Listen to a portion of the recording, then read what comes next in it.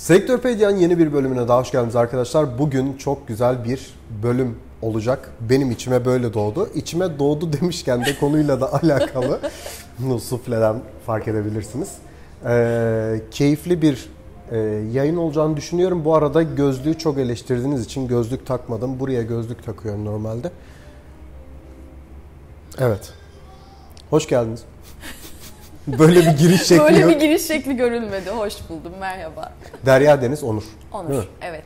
Çok şey konuşacağız. Bir de benim uzun zamandır gelen bütün konuklarımızı seviyorum. Buradan hepsine selam. Bütün kameralardan ama eee, konuşmak istediğim... Ya evet onlarla da konuşabiliyorum her konuda. Evet merak ettiğin çok şey var. O Çok yüzden var. beni çağırdın. Çok var. Dinliyorum. Merak ettim. Bayağı peşinde koştum. Öyle böyle değil. Yani bir buçuk yıl uğraştım. Yani daha yayın yoktu. Nerelerden geldi? Antarktika'ydı değil mi en son? Oradan özenle. Evet, en son kutuplardayken bir mail atmıştın. Soğuk diyorlar. Soğuk. Soğuk Gayet mi? soğuk. Gayet soğuk ama sen arayınca ısındı o yüzden mecburen gelmek zorunda kaldım. Ben bu jestin altında kalamam. Sorularımı sormak istiyorum. Ee, biz yoga ve pilates eğitmeni olarak bunu Evet. kategorize etmişiz. Doğru. Bireysel olarak kendinden bahsedebilir misin? Yani seni nasıl tanırız? Son 5 yılımdan bahsedeyim. Öyle daha mantıklı olacak. Çünkü şu an konuşacağımız konular onun üzerine olduğundan dolayı son 5 yılımı yoga üzerine yaşıyorum diyelim. Ee, yoga aslında bir nevi bırakış.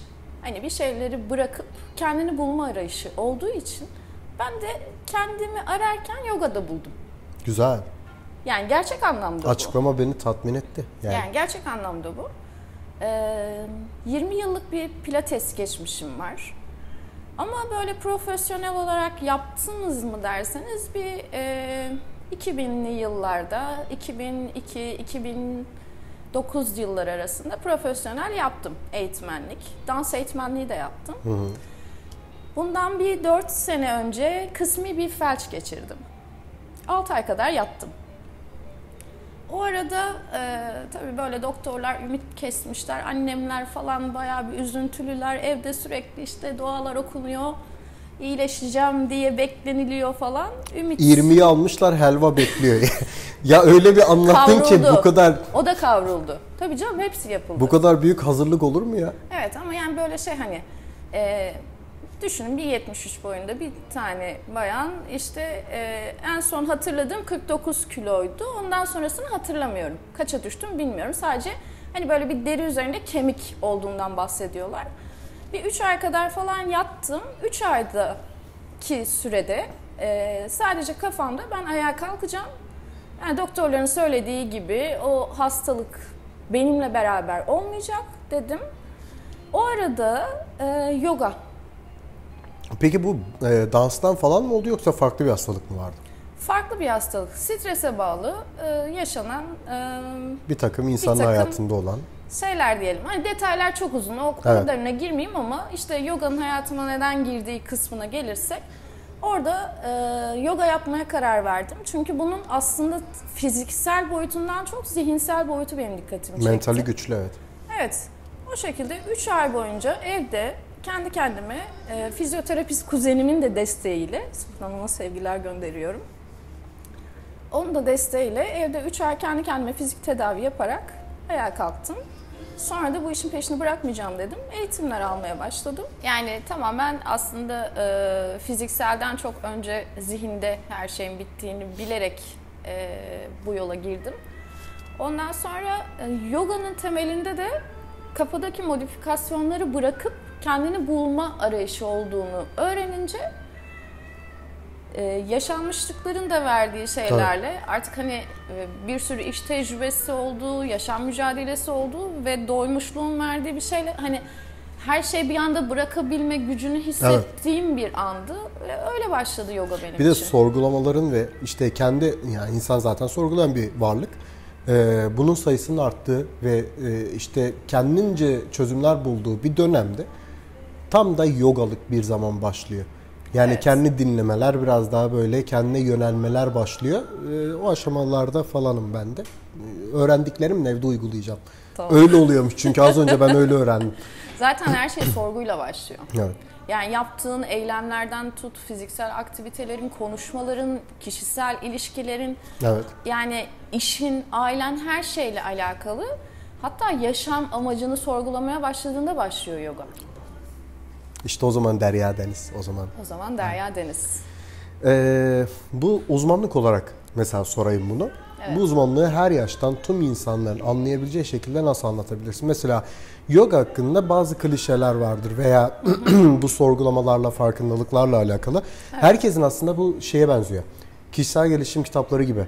Hani bir olayı farklı kişiler farklı örneklerle veya metaforlarla anlatıyor ya. Evet. Yoga'nın herkesin anlattığı biçim farklı. Ay, Şey de deseydim çok güzel olurdu ya. Aşkın tanımı falan.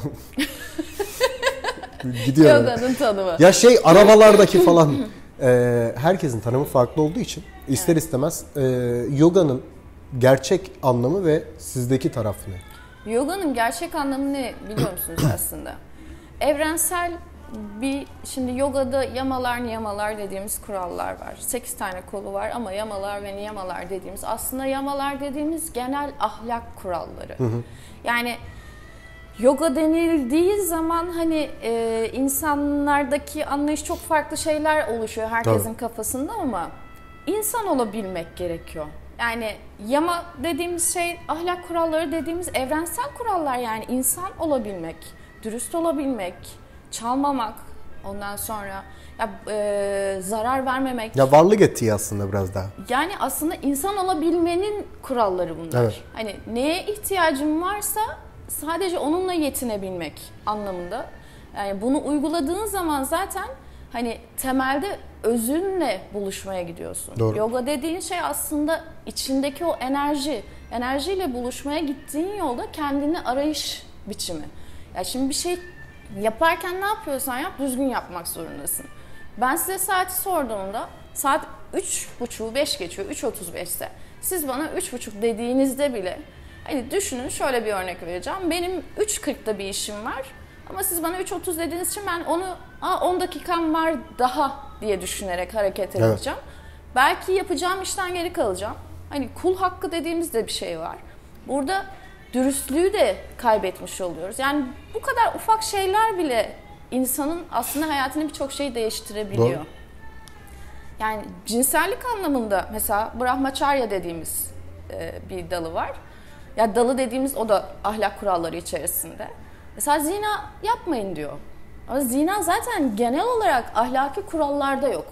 Tek eşli olacaksın diyor. Seviyorsan tek kişiyle birlikte olacaksın diyor. Ya da evliysen aldatmayacaksın diyor. Hani hırsızlık yapma diyor. Kimsenin malında gözün olmasın diyor. Yani bu temel kurallar aslında insani kurallar. Yani dini açıdan bakarsan da bütün kutsal kitaplarda da böyle. Aynı Kur'an'ımızda da bu şekilde geçiyor. Bunları yaptıktan sonra insan zaten doymama gibi bir şey olmuyor. Hani o doyumsuzluk dediğimiz şey ortadan kalkıyor. Ya ben mesela şeye tabi bu doğru bir tanım değil ama e, Kur'an-ı Kerim'e ben kendimce kulluk kulunun kılavuzu diyorum. Yani senin Evet. e, insanlara bir guide verilmiş yani bir kılavuz ortaya Evet. konmuş ve Aynen onu öyle. uyguladığında hani çok böyle içine girmene bile gerek yok. İnsanın yapmak istediği, e, yapabildiği şeyler var. Japonya'da baktığın zaman bizim totemde Allah korkusu denen bir şey yok ama diyor ki ben sana yalan söyleyemem çünkü bu seni üzer. Evet. Bitti. Yani bunun e, dinle de Kulun bir şey yok ama hadi kılavuzu dinlemiyorsun. E, etiği de mi dinlemiyorsun ya da işte bu olguyu da mı dinlemiyorsun? Dinlemiyor. Orası tam bir muamma. Yani önce e, yoga pratiktir diyoruz aslında. Yani pratik dediğimiz şey e, fiziksel o matın üzerine çıktığında yaptığın hareketler değil. O hareketleri yapabilmek için önce içerideki pra- pratiği geliştirmen gerekiyor. İşte içerideki saflığı ortaya çıkarman gerekiyor. Yani öncelikle gerçekten insana değer vermen lazım. E, doğaya değer vermen lazım. Hayvana değer vermen lazım. Yaşayan canlıya değer vermen gerekiyor. Ve her şeyi yani şu eşyanın bile ya bunun bile saygıya ihtiyacı var. Evet. Sen bu masaya buradan geçerken tekme atamazsın yani. Çünkü bu sana hizmet ediyor. O bitki sana hizmet ediyor. O havadaki bütün mikroorganizmalar sana hizmet Her ediyor. la- varlığın bir sebebi var. Her şeyin bir teorisi. sebebi varken yani bir ağaç düşünün. Yani sadece onu ağaç olarak görüyorsun ama o ağaçtan bir sürü şey çıkıyor. Kitap çıkıyor, defter çıkıyor, masa çıkıyor, sandalye çıkıyor, kıyafet çıkıyor. Oksijen bir çıkıyor. sürü şey yani ve sen onu kullanıyorsun ve ona saygı göstermek zorundasın. Allah'ın yarattığı her şeye saygı gösterip değer verdiğinde e, Arapçada bir şey var yanlış olmasın taptuka diyor. Hani kapını çalarsan kapını çalarlar. Ne verirsen onu alırsın. Onu alırsın. Böyle bir şey. Yani pratik burada başlıyor. Sen karşıdan ne bekliyorsan, ne yapmak istiyorsan karşıya, ya- yani ne görmek istiyorsan onu yapacaksın ki karşıdan aynısını göreceksin. Doğru. Hani baktığın şey aslında gördüğün sensindir. Hani insanlarda şey vardır. "Şunun kıyafetine bak ya hiç yakışmış mı? Aslında o gün gerçekten kendine bir şey Yakıştıranla da alakalı bir durum. Evet. Kendine bir şey yakıştıramamıştır. Çünkü insanlar gördükleri şeyin kendisi olduğunun farkında değiller. Peki ben bir kişisel bir soru soracağım. Soru arasında yok ama mesela eee, bu din dini şeyle eee, inanışla bu evrenin enerjisini vesaireyi bilmem neleri ya bilmem neleri dediğim kısmı saygısızlık olmasın. Ama bunu ikiye ayıranlar var. Mesela Asla. ya ondansın ya bundansındır diye bakılıyor. Eee, bu evrenin veya işte e, dinin matematiği bunun üzerine. Evet verdiğin şey ve kalbinin halisliğiyle alakalı yaşayacağın şeyler ya da birini eleştirdiğinde onun başına geliyor olması e, iki tarafa da eğilmeni gerektirecek bir durum değil. Ortada ve ikisinin de kanıtlanabilir niteliği içerisinde olan bir şey. Ama insanlarda bir cephelik var. Yani ya diyor ki evrene kötü enerji gönderdim bunun e, Tanrı ile alakası yok ya da di- diyor ki hayır Kur'an-ı Kerim'de yazıyor evren mevren boş. Yani aslında ben böyle bir şey olduğunu düşünmüyorum. Ama senden duymak isterim yorumunu. Ben sadece şöyle yani aslında çok net olacak bu söylediğim şey. Ee, ayrımcılık yaptığımız şey cehalet. Gerçekten cehalet. Eğer ki e, bizi bir yaratan var Allah. Yani bir sistem var. Koskocaman bir sistem var. Bugün hala her şey üretilebiliyorken, her şey vardan üretilebiliyorken, hiçbir şey yoktan var edilemiyor. Bakın her yerde işte binalar, işte elektronik eşyalardan tutun, şeylerden tutun her şey aslında topraktan geliyor ve tekrar toprağa dönüyor. Evet. Hiçbir şey yok değil. Yoktan var eden tek şey Allah. İçimizde bir enerji var ve o enerji bize bir emanet.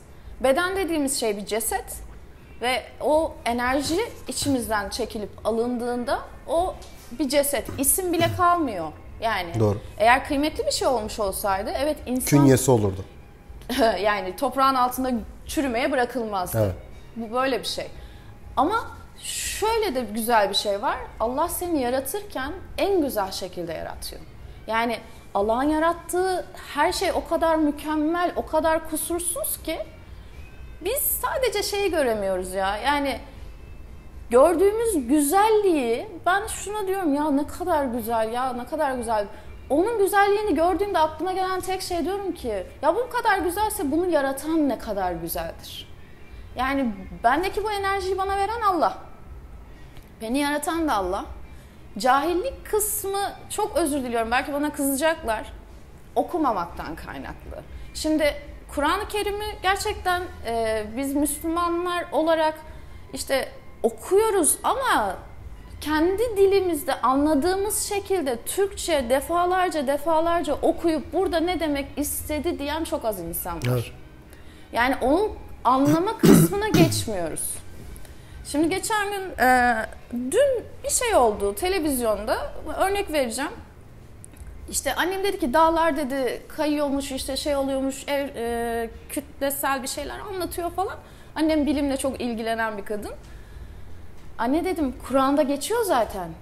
Kur'an'da diyor ki siz dağları sabit mi zannediyorsunuz? Yani Kur'an'da geçiyor. Ve şu an bilimle ilgili olan her şey de Kur'an'da geçiyor. İnsanın yaratılışından tut 1400 yıl öncesinden iki tane denizin arasında bir perde olduğunu, işte birbirine karışmadığından bahsediyor. İşte ayın bir e, aylık süre içerisinde gökyüzündeki şeklinin kurumuş bir hurma dalı şeklini aldığını söylüyor.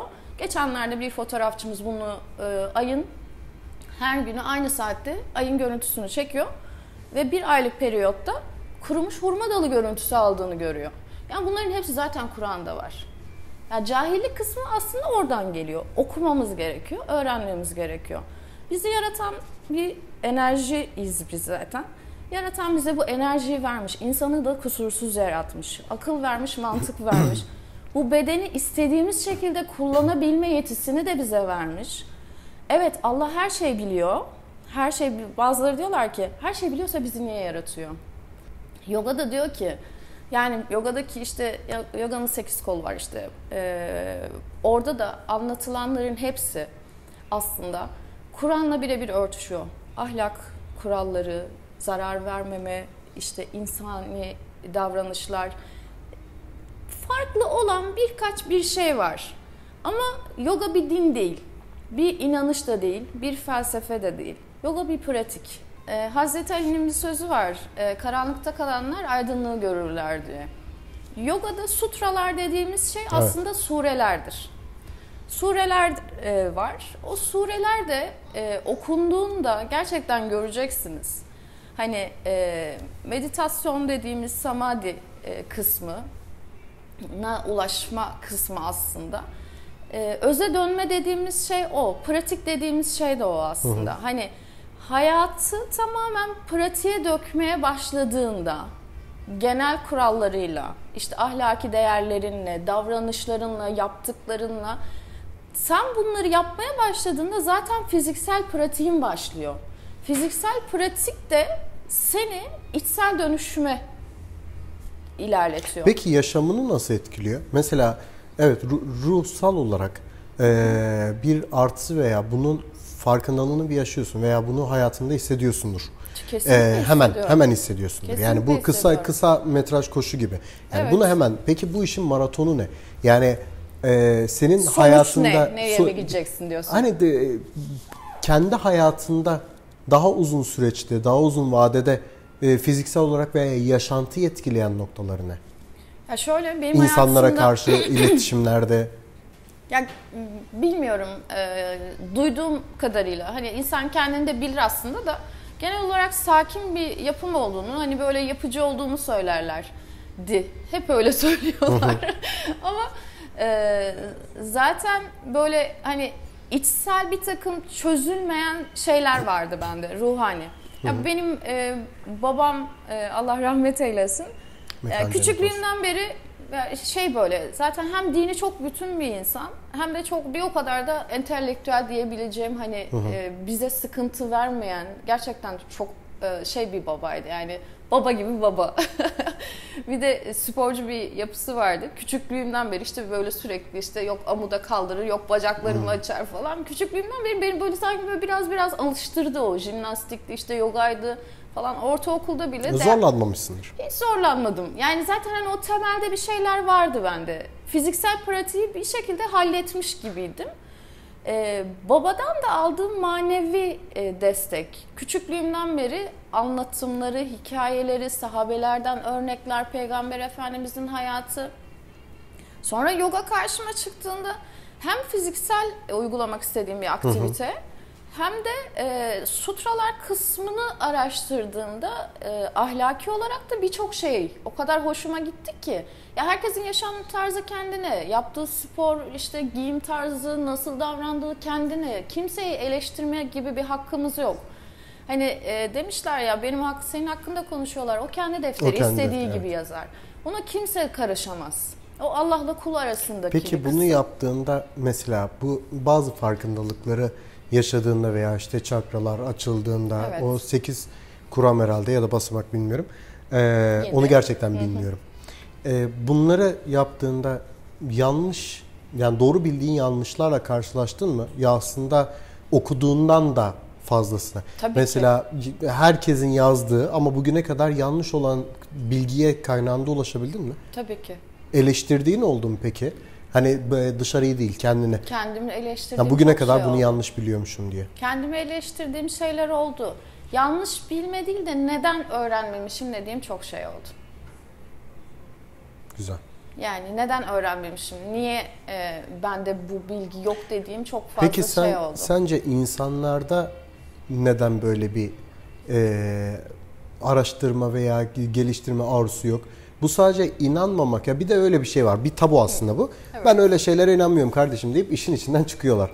İnanmamakla alakalı o bir set çekmesinden kaynaklı mı yoksa insanların zaten hali hazırda %80 %90 okumaya da bir e, benim zamanım yok ya ben oku, Evet ya, be- benim çocuk video açıyor ben oradan izliyorum şey var.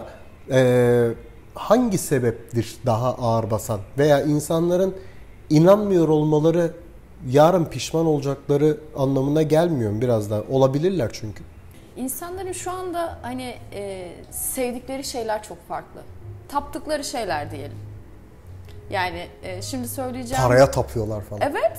Evet bu Kaliforniya gerçek. Mad- sendromu var maddi çünkü. şeylere tapıyorlar. Maddi şeyler o kadar değerli ki. Maddi şeyler değerli olduğu zaman insan değeri düşer. Bu bir gerçek. Ben şu laptopu alabilmek için böyle çabalıyorum, yırtınıyorum, işte bir şeyler yapıyorum, işle güçle uğraşıyorum, bir tane laptop alacağım. Tamam mı? O arada karşıma gelen insanların gönlünü kırmışım, kalbini kırmışım, iş için saçma şeyler yapmışım önemli değil. Evet. Neden? Çünkü bir maddi bir şeyin peşindeyim. Maddi şeylere değer verdiklerinde maneviyat her zaman düşer. İnsan değeri de düşüyor. İnsan değeri düştüğü için maneviyatta birçok şeyi kaybettiğimiz için çaba sarf edeceğimiz şey kendimiz olmuyor. Ama bu 4 yıl içerisinde olduğu için yani 4 yılın ivmesi çok yüksek olduğu için bunu soracağım. Ee, son birkaç yılda yani ben bunu korona öncesinden hani koronada olduk demiyorum. Evet. Ama son 3-4 yıldır bu böyle oldu.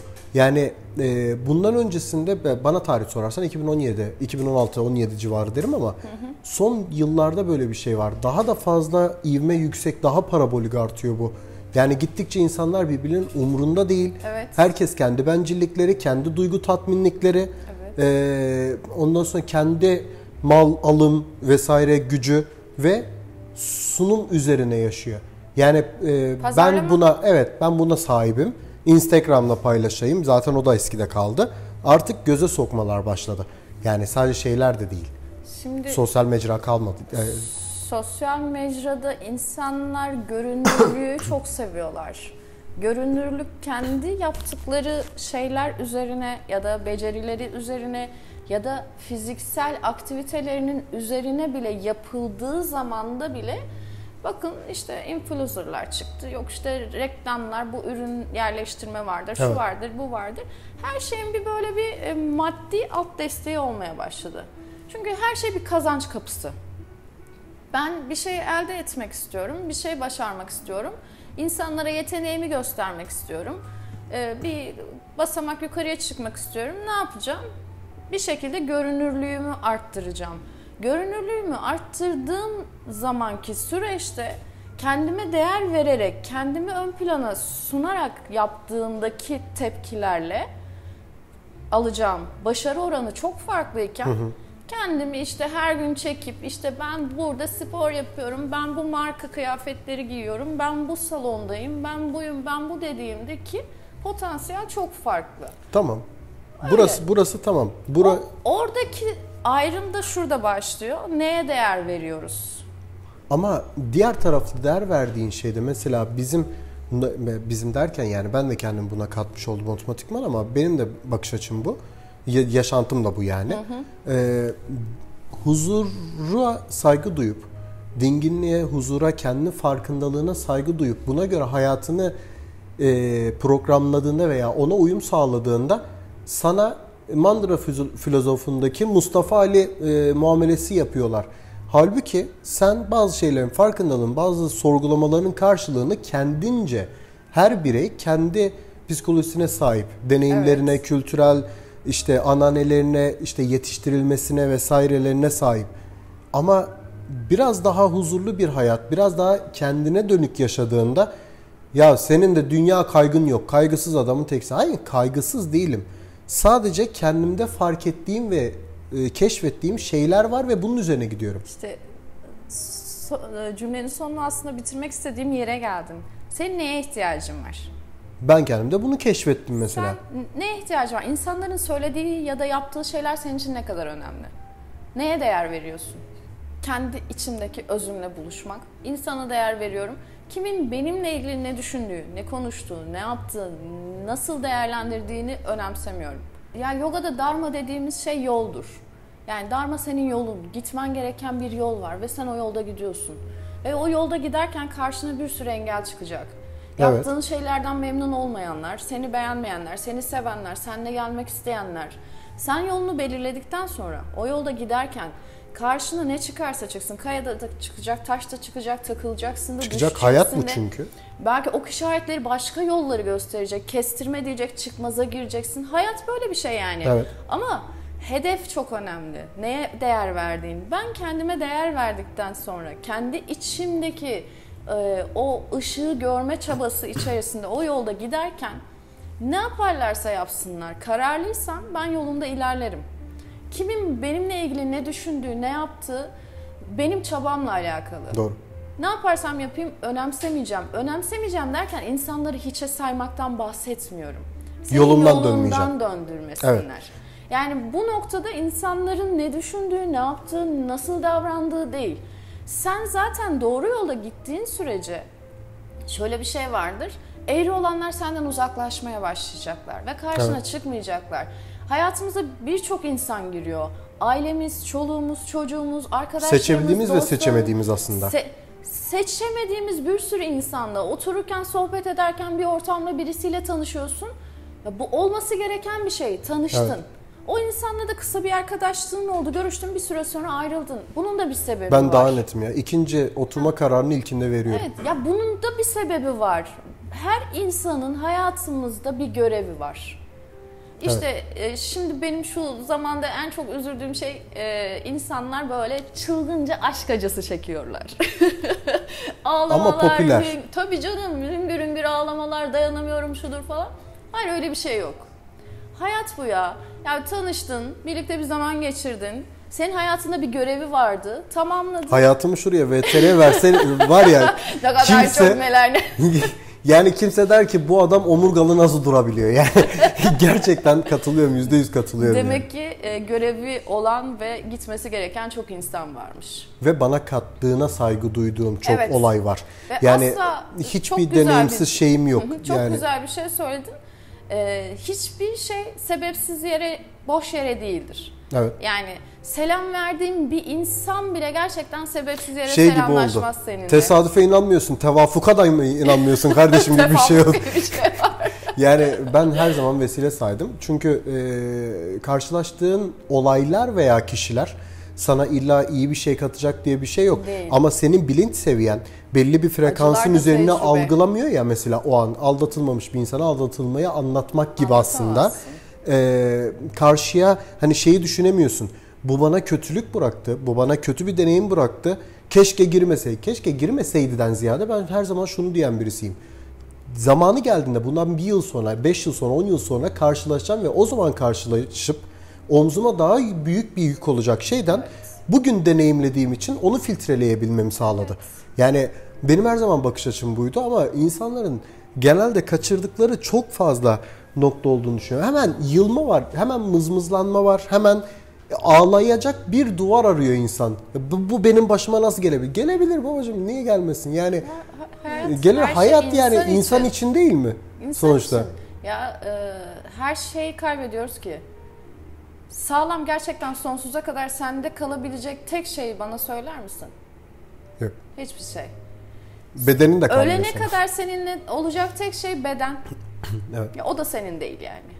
Hiçbir şey bize ait değil. Annemizi de kaybediyoruz, babamızı kaybediyoruz, çocuğumuzu kaybediyoruz, akrabalarımızı kaybediyoruz. Maddi, manevi her şey elimizden gidiyor. Her şeyin bir zamanı var, geliyor, geçiyor.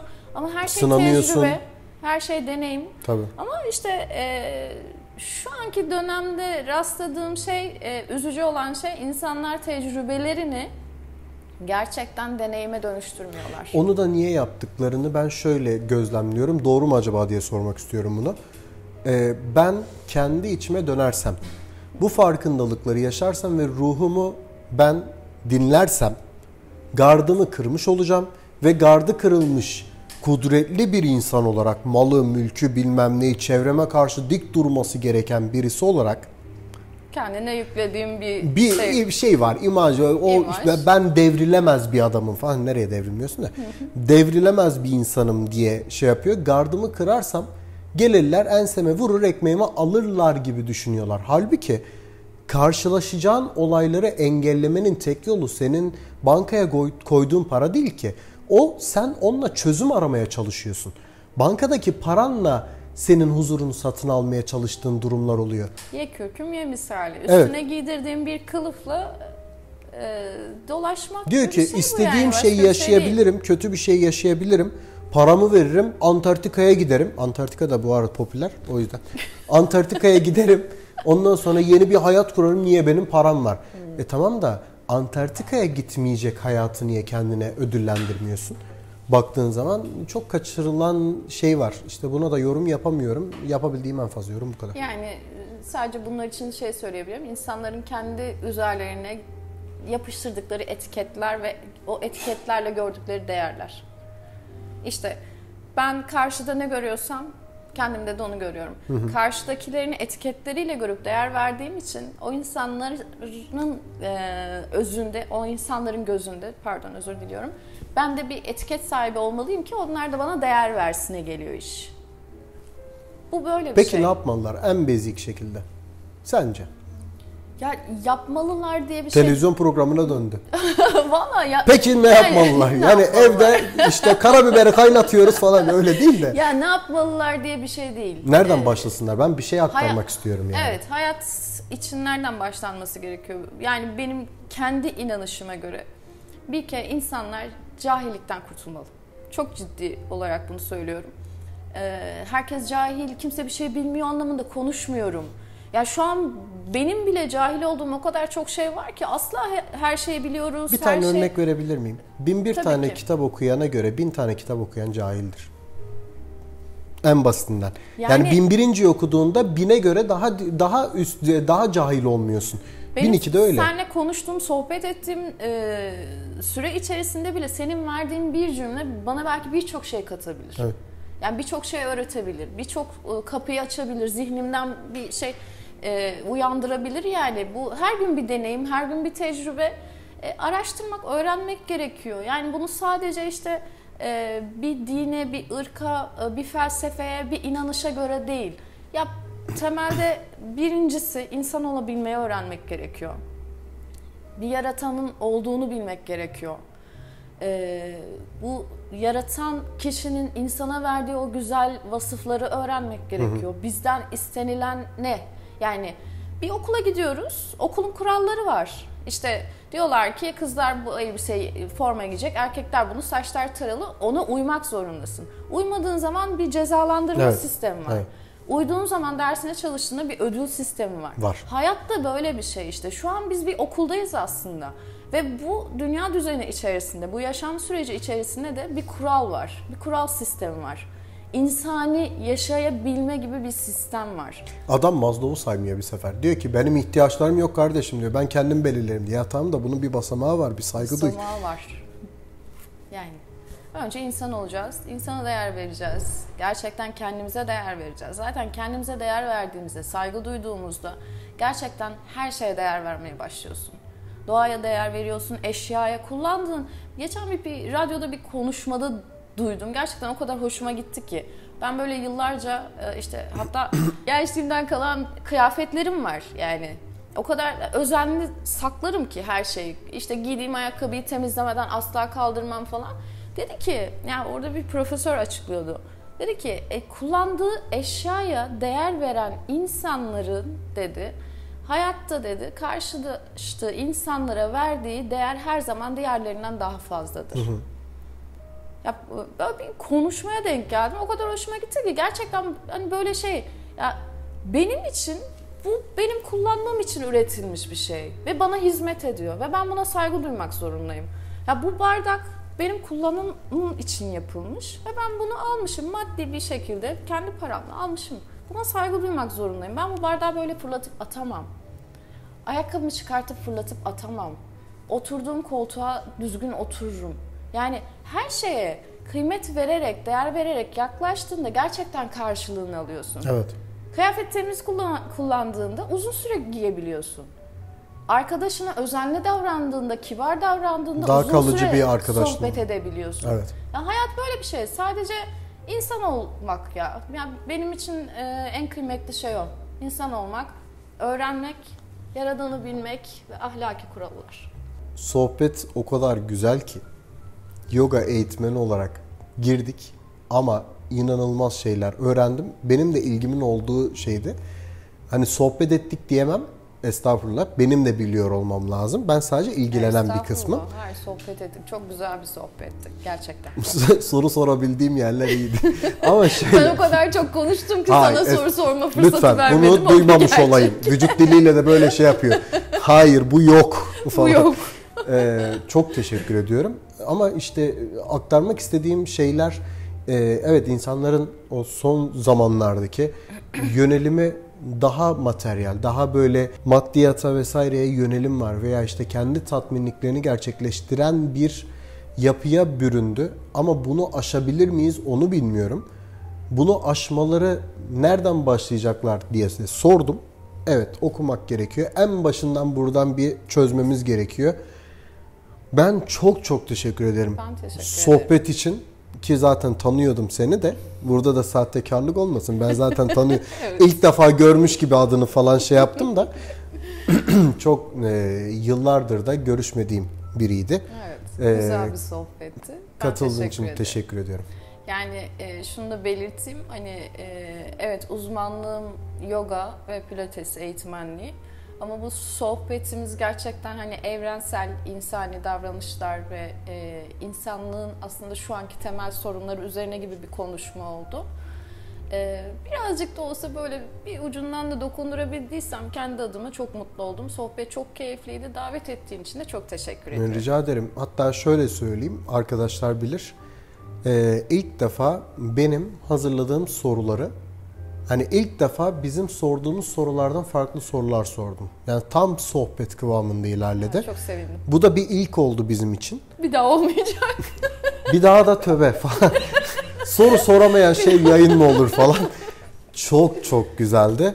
Ee, ben alta bir de kaynak düşmek isterim. Onu seninle belirleyelim. tamam. Hani e, yabancı ve Türk hani nereden neyi takip ederlerse e, biraz daha bu sohbet daha da kendi içlerinde kendi arkadaşlarıyla yaptıkları sohbet çünkü ilgilenenler Evet. izleyecek sonuçta bunu.